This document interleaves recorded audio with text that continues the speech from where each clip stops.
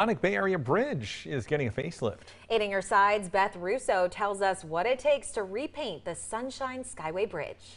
Yeah, and you can't miss the Sunshine Skyway Bridge when you're driving to or from Pinellas and Manatee County, but making sure its yellow coated cables stay that impressive color, it's no small task. The Sunshine Skyway Bridge is eye-catching even from miles away. Move closer and you can see the wear and tear on its yellow-coated cables.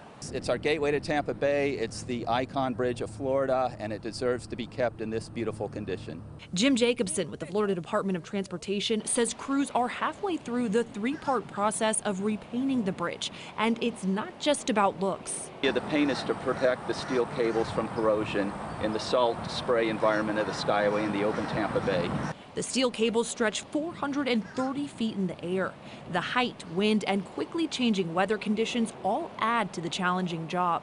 Jacobson says a unique pulley system is what makes it possible. And they're called spider baskets. They're fully contained with tarps so the paint and the uh, blasting media does not fall outside.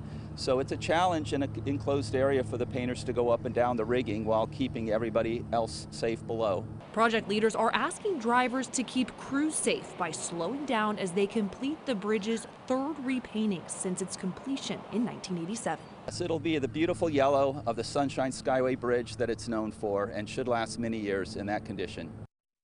And so they're saying that this should be done by summer 2023, barring any delays because of weather. We were just talking, you feel the wind when Yeah. you drive over it. I can't imagine being 430 feet up in the air in a basket with even a light breeze. I'd be like, oh my gosh, holding on for dear life. Especially with those drivers zooming below you. Absolutely. And that's why they're asking everybody to slow down. And they're taking their time too. This is a long project. They'll make sure they get it right and be very careful in the process. A hundred percent.